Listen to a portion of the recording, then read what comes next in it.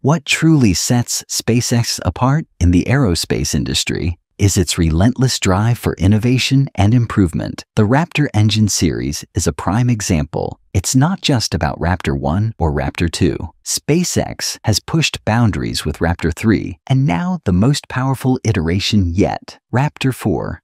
So, what can we expect from Raptor 4? Let's start with the most obvious improvement power. Raptor 4 represents a significant leap forward in rocket engine performance, particularly in terms of thrust, efficiency, and design refinement. Elon Musk noted in late 2024 that the Raptor 3.x series could achieve 300 tons of thrust at liftoff, which, by the way, is three times what the Saturn V's legendary F1 engine produced. However, during an interview with Everyday Astronaut, Musk mentioned a more advanced version capable of reaching 330 tons, which likely refers to Raptor 4. This output marks an approximate 17% increase over Raptor 3's standard 280 ton thrust and a remarkable 43% increase compared to Raptor 2. If SpaceX maintains the current Starship and Super Heavy configuration, this improvement could enable the booster to deliver up to 10,890 tons of thrust at liftoff. Beyond raw power, efficiency is also improving. Musk stated that the Raptor 3 series, and by extension, Raptor 4's vacuum variant, could reach a specific impulse of 380 seconds, enabled in part by an oversized nozzle optimized for performance in space. With Raptor 3 already achieving a record setting chamber pressure of 350 bar, Raptor 4 is expected to exceed even that, solidifying SpaceX's lead in engine performance. In terms of design evolution, the Raptor engine has also been getting lighter. Raptor V1 weighed around 2,000 kilograms. V2 dropped to 1,600 kilograms, and it is estimated that Raptor V4 may weigh close to 1,500 kilograms. When paired with a thrust of 330 tons force, this results in a thrust to weight ratio, TWR, of roughly 220, substantially higher than the Merlin 1D's TWR of 180. This metric is critical, as a higher TWR indicates greater efficiency and acceleration potential. In this context, Raptor 4 not only surpasses its predecessors, but also stands out as one of the most advanced and capable rocket engines ever developed. SpaceX has several engineering options to achieve the increased power seen in engines like Raptor 4. One approach is to enlarge the nozzle while keeping the flow rate, chamber pressure, and throat area constant. This modification can improve specific impulse, making the engine more fuel efficient and potentially increasing thrust slightly. However, a larger nozzle adds weight and expands the engine's footprint, which may complicate fitting all 33 engines into the Super Heavy booster's base. Another method to enhance performance involves adjusting the throat size while keeping the nozzle and chamber pressure unchanged. Reducing the throat diameter can lead to higher exhaust velocity, improved specific impulse, and a better thrust to weight ratio. The trade off is a reduction in flow rate, which can lower total thrust output.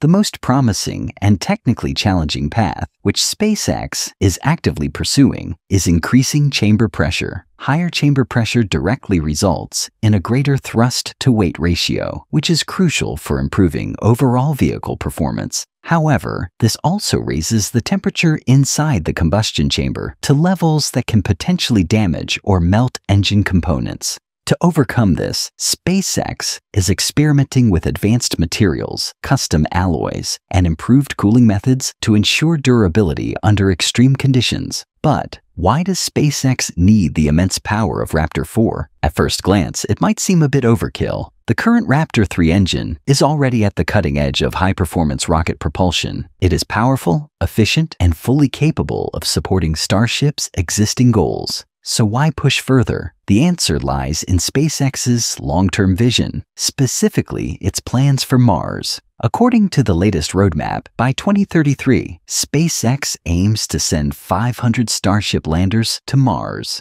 These ships will deliver mining equipment and infrastructure essential to building a self-sustaining presence on the Red Planet. Each Starship lander is expected to carry up to 300 tons of payload, an enormous mass that demands significantly more thrust than what current Raptor engines can reliably provide. That is where the next generation Raptor 4 comes in. But there is more to it than just raw lifting power. Higher thrust also opens up greater opportunities to exploit the Oberth effect, a fundamental principle in astronautics. The Oberth maneuver involves firing a rocket's engines at the lowest point in its orbit when it is moving fastest through a gravitational well.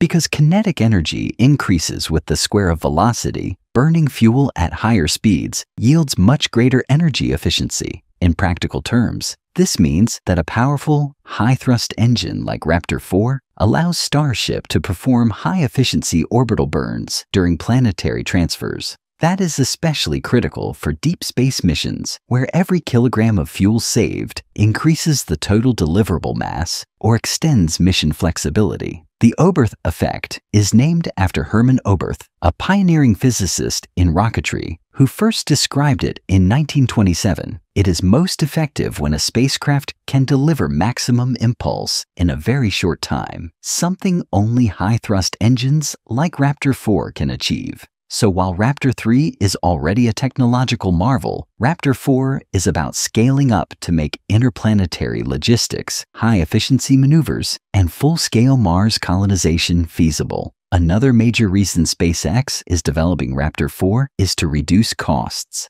Elon Musk has consistently emphasized his goal of making rocket engines as affordable as possible. At one point, he stated that the target cost for a Raptor engine is less than $250,000. While that remains a highly ambitious target, it is not entirely out of reach in the long term. Currently, the cost of raw materials alone, particularly high nickel alloys used in combustion chambers and nozzles, can approach $100,000 per engine. In addition, components like engine controllers, pressure transducers, and rotational sensors are expensive, especially when designed to operate under extreme conditions such as cryogenic temperatures and high pressures. These components also require rigorous testing and qualification, further driving up costs. Automation will help reduce labor expenses, but it does not eliminate them entirely. In many ways, automation simply transfers labor into the design, production, and maintenance of machines. What truly brings down manufacturing costs is high production volume.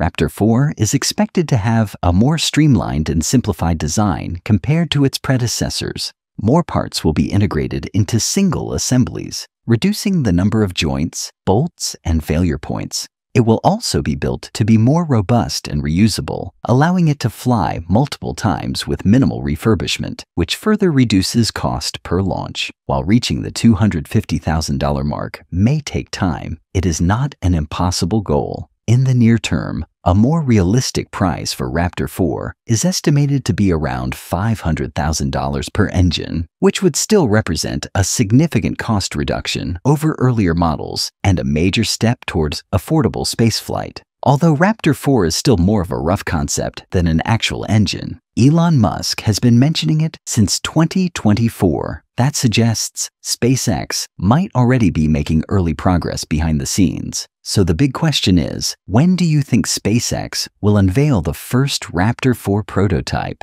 Will it be in 2026 or 2027? Or could it even happen by the end of this year? Drop your prediction in the comments below. While Raptor 4 is still a topic for future discussion, there's one engine we'll almost certainly see fly later this year, the Raptor 3. Elon Musk recently gave an update during a speech at Starbase where he shared an impressive video of the new engine. According to the video, SpaceX has already tested over 300 Raptor 3 engines, accumulating more than 16,000 seconds of total runtime. That's a serious milestone. One of the most striking things about Raptor 3 is its radical design simplicity. It has virtually no visible pipes, hoses, or wires. It looks almost too clean to be real. Musk even described it as alien technology This minimalist design allows SpaceX to eliminate the external heat shielding usually required to protect vulnerable components. With nothing exposed to burn or overheating, the engines can hang openly. This reduces weight and increases payload capacity, but the benefits don't stop there. The cleaner design also removes closed off areas where excess fuel and oxygen could accumulate and potentially explode. While this hasn't been a major issue for the booster stage, it's been a significant challenge for the Starship upper stage. If Raptor 3 solves that, it could be the key to finally allowing Starship to survive re entry and complete full mission profiles, which has been a major hurdle in its development so far. Speaking of new engines, Russia has one of its own. Recently, Rosatom, Russia's state owned nuclear corporation, unveiled a prototype plasma rocket engine, a technology it claims could drastically shorten space travel times. The laboratory model, which uses a magnetic plasma accelerator, generates at least 6 newtons of thrust with a specific impulse of over 100 kilometers per second. For perspective, 6 newtons is about the force needed to hold a small apple against gravity. While modest compared to the explosive force of chemical rockets, plasma engines work differently. They operate continuously over long durations, gradually accelerating spacecraft to very high velocities. Plasma engines are a form of electric propulsion. Rather than burning fuel, they ionize gas and use electromagnetic fields to accelerate the charged particles, generating thrust. This makes them far more efficient than chemical rockets, allowing spacecraft to travel farther using significantly less fuel. Rosatom's prototype operates in pulsed mode, delivering an average power output of 300 kilowatts. That level of energy could enable travel to Mars in just 30 to 60 days, compared to the current 9 to 12 months. Such a reduction in transit time would limit astronauts' exposure to cosmic radiation and other deep space risks. The project is part of Russia's new Nuclear and Energy Technologies Initiative, launched in 2025 to drive national technological leadership. A dedicated testing facility has already been established in Troitsk, equipped with a 14 meter long vacuum chamber for simulating space like conditions and testing the engine in realistic scenarios. Rosatom's push into space propulsion aligns with its broader strategy to expand nuclear technology in space exploration. The company is also developing nuclear power systems for spacecraft, including solutions for transport missions, research, and even planetary surface operations. Rosatom's nuclear space technologies were initially developed under the Development of Technology and Scientific Research in the Field of Atomic Energy Use Program, which was launched in 2021. This initiative supported advancements in nuclear materials, power systems, fusion research, and more. In 2025, it was integrated into the broader New Nuclear and Energy Technologies National Project, reflecting Russia's strategic push to maintain technological sovereignty and gain a competitive edge in high tech industries. If you have watched this far, I truly appreciate your time and interest. I am glad to know that this video has been helpful to you. We are on our way to reaching our goal of 10,000 subscribers, so feel free to support us by hitting that subscribe button. It really helps a lot. Thank you.